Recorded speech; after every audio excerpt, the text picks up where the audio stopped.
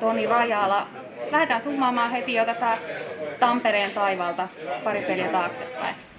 No joo, hyvin, hyvin on lähtenyt tietenkin, että kaksi, kaksi voittoa, kaksi voittoa ja tota, itekin, itekin pääsi ekassa pelissä heti tekemään maalin kotiyleisön edessä, että se oli aika, aika unelmien täyttymys sekin, sekin siihen heti alkuun, että kyllä siinä vähän kylmät väreet tuli itsellekin, kun näki sen yleisön, yleisön siellä hurraamassa, että tota, se oli hieno, hieno juttu ja kumminkin tuossa just eilen oli, eilen oli tiukka matsi Latviaa vastaan ja käännettiin se voitoksi, että iso, iso voitto oli kumminkin, että ei ollut helppo, helppo peli, ei täällä helppoja pelejä tule oleenkaan, että tota, taisteltiin joukkueena se ja tultiin sieltä ja voitettiin, että tota, hyvin on lähtenyt ja huomenna taas uutta peliä ja koitetaan siitä saada se kolmas voitto.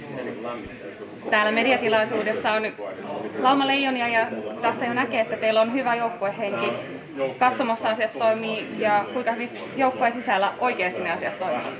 No kyllä toimii hyvin. Että meillä, on, meillä on kyllä tosi hyvä joukkuehenki. Että ollut, ollut aina kun mä oon ollut maajoukkueessa, niin tota, kyllä niin kuin maajoukkueessa on aina ollut Suomessa hyvä, hyvä joukkuehenki. Että, että ei siellä ole ketään pelaajia sillä joka asettaa itsensä muiden yläpuolelle, että kaikki ollaan samalla viivalla niin sanotusti, että kaikki otetaan mukaan ja pidetään yhdessä hauskaa. Ja meillä on ollut hyvä, kun meillä on ollut sellainen mottonakin täällä, että kun aika on, että tota, et, et kun mennään jäälle, niin silloin pelataan, pelataan täysiä. Ja sitten just, että voidaan ottaa sitten, jos on vapaa päivä, niin voidaan ottaa vähän rennommin ja pitää hauskaa vähän ja olla sillä chillisti, että tota, et, et on kyllä ollut aina hieno tulla näihin maajoukkojen juttuihin mukaan, että täällä on aina niin, niin hyvä ilmapiiri ja huikeita, huikeita jätkiä ympäri.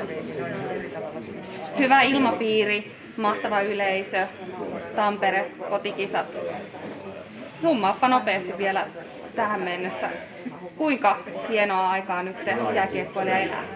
No onhan tää aika sellainen, sanoisin, että pikkupoikana on jopa unelmoinut tällaista pääsisi kotikisoja pelaa. Ja just täällä itse, itse kanssa Tampereella asunut 16 vuotta, niin tota, on niin ihan älytön, että pääsi tänne kotikisoihin pelaa. Ja tota, just yleisö, yleisö, on, yleisö on ollut hienosti paikalla ja pitänyt Mekkalaa hallilla. Että on se, niin kuin sanoin, että ekassa pelissä tuli vähän kylmäkin väreet, niin kyllä se niin kuin kertoo siitä, että kyllä aika huikea, huikea meininki on ollut hallissa ja hienoa, hienoa kyllä pelata tuolla Nokia-areenalla, että hieno, hieno hallin pystyttänyt siihen ja nyt Tampere, Tampere kumminkin on aika sekaisin pari viikkoa tässä, että varmasti on, on tota, hyvä meininki kaupungilla sun muu.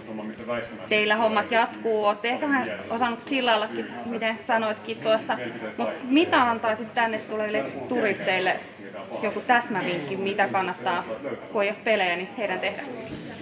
No tietenkin, täällä nyt Tampereella on vaikka mitä, että, että kumminkin tässäkin, missä me Pyynikin maastossa asutaan, niin täälläkin aika hienot maisemat, maisemat ja hyvät lenkki, lenkki, lenkki tota, paikat täällä, että, tota, mutta tietenkin siivet ja musta makkara on sellaiset, mitä pitää aina maistaa, kun Tampereelle tulee. Että, tota, mutta onhan tämä hieno, hieno kaupunkihan tämä on omasta mielestäni paras, paras kaupunki Suomessa, että tota, kyllähän täällä kaikkea tekemistä on ja just, että saataisiin ehkä vähän pari, pari napsua asteita enemmän tänne ja aurinko paistaa, niin se olisi loistavaa.